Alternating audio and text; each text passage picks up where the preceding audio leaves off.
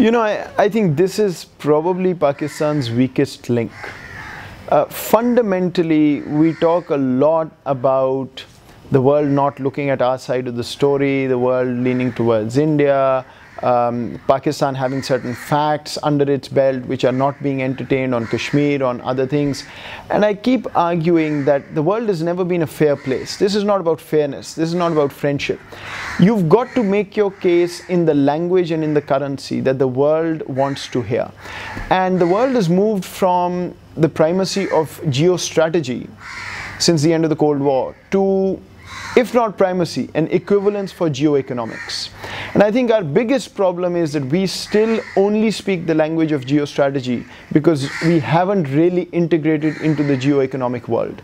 So if we want to show and work through the world uh, to get India to have an even-handed um, compromise or deal, you're basically, you're going to have to talk about your economic strength.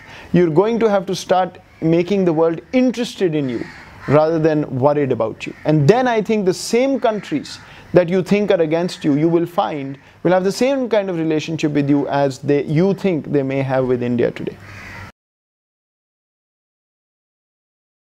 I don't think it does. Look, I mean, I think at some level it matters because there's protocol. You have to say who's uh, at a ministerial, who is your foreign minister. You have to, you know, designate that every time.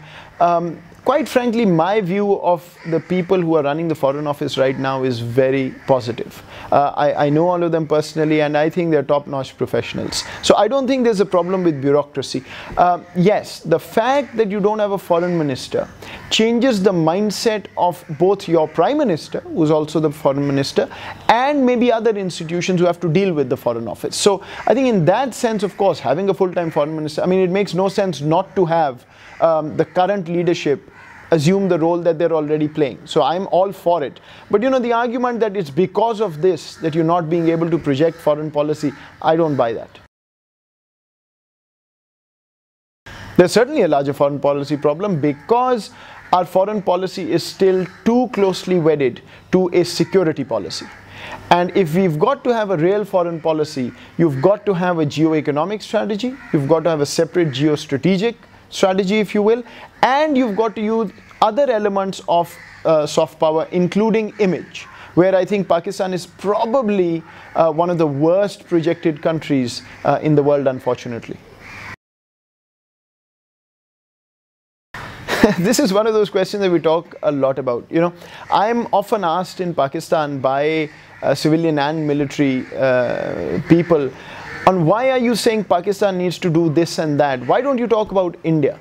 And my answer very simply is that I'm not India.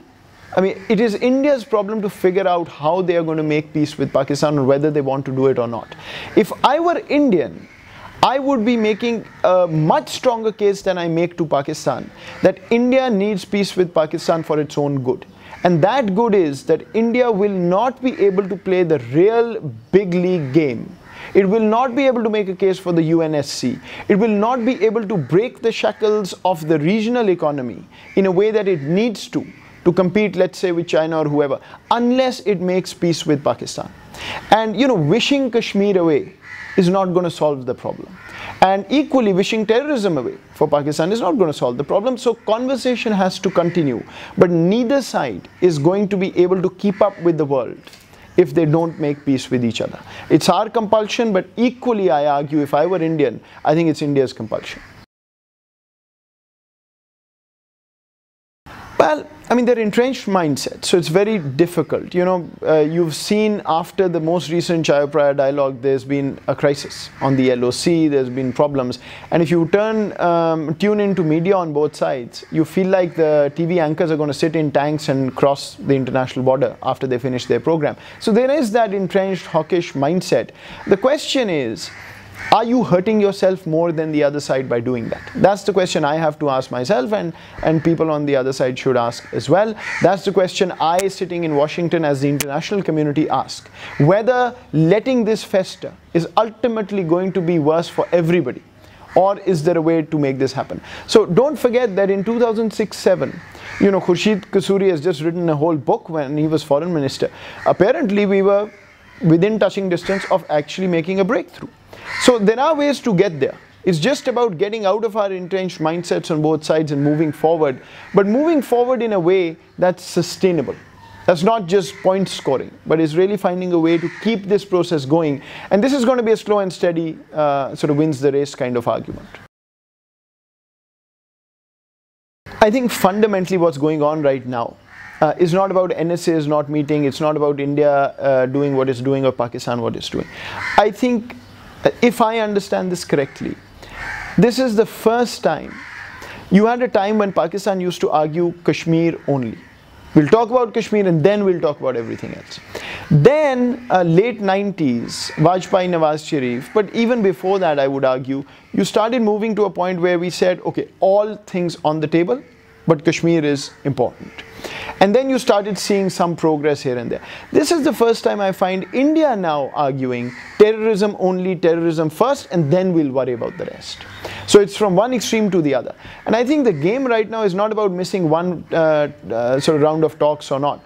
It is about India trying to figure a way out to get terrorism above everything else as the agenda point and making that the new normal and Pakistan desperately trying to make sure that that doesn't happen lest Kashmir sort of goes quote unquote on the back burner as we like to say it. So I think this is about a strategic paradigm shift in terms of how they negotiate that's bothering both sides or one is trying to take advantage and the other is trying to uh, mitigate against that uh, rather than just a particular conversation in UFA or, or the NSA talks that, that happened or didn't happen.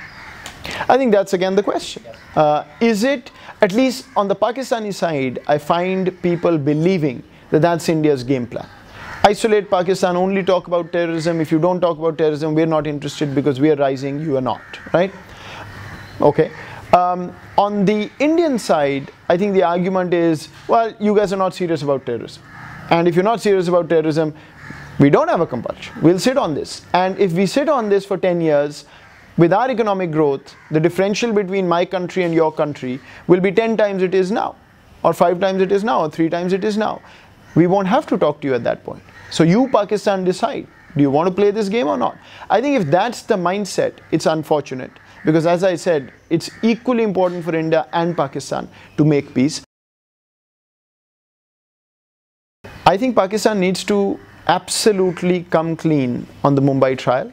Whatever needs to happen there, whatever the reasons are for delay, I think there needs to be a serious conversation.